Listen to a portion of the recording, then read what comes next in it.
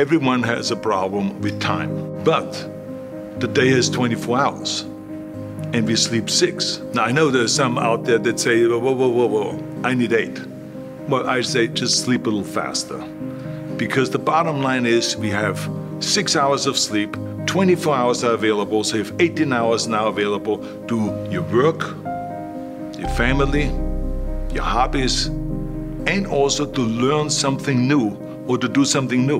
When I came to this country, I mean, I went to school, I was working in construction, I was working out my five hours a day. I was taking acting classes from 8 o'clock at night to 12 midnight. I was doing all of those things. I wanted to make sure that out of the 24 hours of the day, that I don't waste one single hour.